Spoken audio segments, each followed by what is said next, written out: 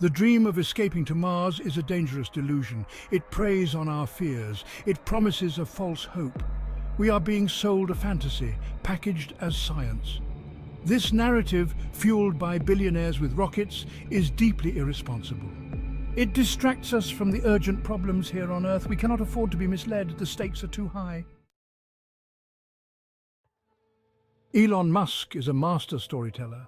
He understands the power of narrative. He weaves together ambition, technology, and a touch of fear. His vision of Mars is seductive. It taps into our desire for adventure, for progress, for a fresh start. But we must be wary of seductive narratives. They often conceal uncomfortable truths. Musk talks about making life multiplanetary as an insurance policy for humanity. He warns of existential threats like climate change and asteroid impacts. He argues that we need a backup plan, a second home. This message resonates, particularly in an era of climate anxiety. It offers a glimmer of hope in the face of seemingly insurmountable challenges. However, this narrative is deeply flawed. Mars is not a welcoming environment, it's a hostile, unforgiving world. The atmosphere is thin, offering little protection from radiation. Temperatures are extreme, plummeting far below freezing. The soil is toxic, water is scarce. These are not challenges that can be easily overcome.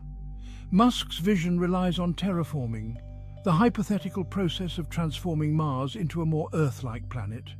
This involves releasing greenhouse gases into the atmosphere to warm the planet and melt the polar ice caps. While this sounds like science fiction, Musk believes it could be possible. However, scientists are skeptical. Terraforming Mars would be a monumental undertaking. It would require technologies that don't yet exist and carry unknown risks. Even if successful, it would take centuries, if not millennia, to complete.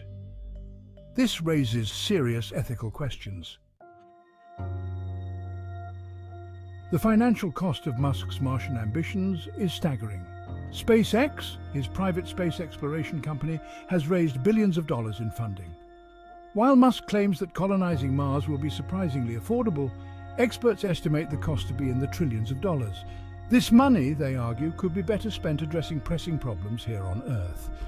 Investing in renewable energy, climate change mitigation and poverty alleviation would yield tangible benefits for billions of people.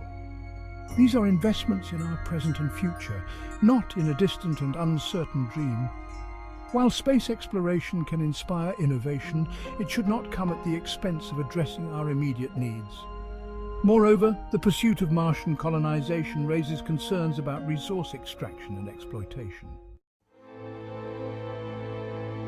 Section 5 Ethical Quandaries the ethical implications of colonizing Mars are profound. We are talking about potentially altering another planet, introducing life to a new world. This raises fundamental questions about our place in the universe and our responsibilities to other celestial bodies. Do we have the right to impose our presence on Mars, potentially disrupting any existing ecosystems? Furthermore, who gets to decide who goes to Mars and what kind of society is built there? Will it be a society that reflects the diversity and values of humanity as a whole, or will it be dominated by a select few? The potential for inequality and injustice is enormous. The selection process for Martian colonists is another ethical minefield. Who will be deemed worthy of a one-way ticket to a new world?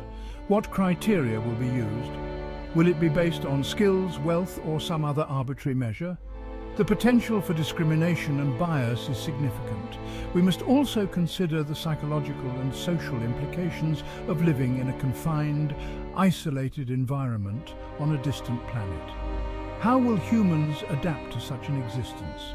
What are the long-term effects on mental and physical health? These are questions that require careful consideration before we embark on such a radical undertaking. Section 6. The right to return. The journey to Mars is long and perilous. It would take months to reach the Red Planet and the return trip would be equally challenging. This raises the question, what happens if colonists want to return to Earth? Will they have that right? Who will bear the cost and responsibility of bringing them back? Musk has been clear that the first missions to Mars will be one-way trips. He envisions a permanent human settlement on the planet. However, this raises ethical concerns about informed consent. Are potential colonists fully aware of the risks and challenges involved? Are they prepared for the possibility that they may never set foot on Earth again? The psychological impact of such a commitment cannot be overstated. Leaving behind family, friends and everything familiar is a daunting prospect. The isolation and separation from Earth could have profound effects on mental well-being. These are factors that must be carefully considered before any human sets foot on Mars. The environmental impact of colonizing Mars extends beyond the red planet itself.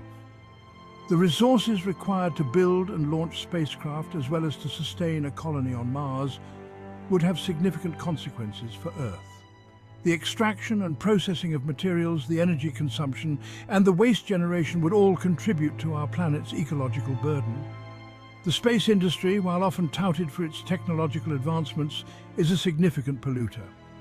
Rocket launches release harmful pollutants into the atmosphere, contributing to climate change and ozone layer depletion. The manufacturing of spacecraft requires vast amounts of energy and resources, often with significant environmental consequences. Furthermore, the pursuit of Martian colonization could divert resources and attention away from efforts to address Earth's environmental crisis. The billions of dollars being poured into space exploration could be used to fund renewable energy projects, develop sustainable agriculture practices and protect biodiversity. Instead of looking to Mars as a potential escape route, we should be focusing our efforts on preserving and restoring the planet we already have. Earth is our only home, and we have a moral obligation to protect it for future generations. The allure of Mars as a potential second home is particularly seductive in the face of Earth's mounting problems. Climate change, pollution, resource scarcity and social unrest paint a bleak picture for the future. It's tempting to believe that we can simply escape these problems by colonizing another planet. However, this is a dangerous fantasy. Ignoring Earth's problems will not make them disappear. In fact, it will likely exacerbate them. The resources and attention diverted to space colonization could be used to address the root causes of our current crisis. Furthermore, the belief that we can simply abandon Earth if things get too bad is morally bankrupt. It abdicates our responsibility to future generations and to the countless other species that share our planet. We have a moral obligation to address the problems we have created and to create a just and sustainable future for all. Instead of looking to the stars for salvation, we need to look inward. We need to confront the systemic issues that are driving our current crisis, inequality, overconsumption, and a disregard for the natural world. We need to find solutions that work for everyone, not just a privileged few. While the hype surrounding Mars colonization is undeniable, it's crucial to separate fact from fiction. The challenges of establishing a self-sustaining colony on Mars are immense and should not be underestimated. The technological hurdles, the ethical considerations and the sheer cost of such an endeavour require careful scrutiny. We need to engage in a more nuanced and critical conversation about space exploration. It's not enough to be swept away by the excitement of rockets and the allure of distant planets. We must ask tough questions about the motivations behind these endeavours, the potential risks and benefits, and the long-term implications for humanity and our planet. Instead of viewing space exploration as a competition between nations or a vanity project for billionaires, we should approach it as a collaborative endeavour that benefits all of humanity. We need to prioritise scientific discovery, international cooperation and the responsible use of space resources. The future of space exploration should be guided by ethical principles, scientific rigour and a deep respect for the unknown. It should inspire wonder and curiosity, not fear and escapism. It should be a source of hope, not a distraction from the challenges we face here on Earth. Moving forward, we need to adopt a more responsible and ethical approach to space exploration. This means prioritising scientific discovery over nationalistic competition or private gain. It means engaging in open and transparent dialogue about the risks and benefits of space travel. And it means ensuring that the pursuit of knowledge does not come at the expense of our planet or its inhabitants. We need to invest in technologies that benefit both space exploration and life on Earth. This includes developing sustainable energy sources, reducing the environmental impact of space travel, and using space-based technologies to address problems like climate change and resource depletion. We need to foster international cooperation in space. The challenges of space exploration are too great for any one nation to tackle alone.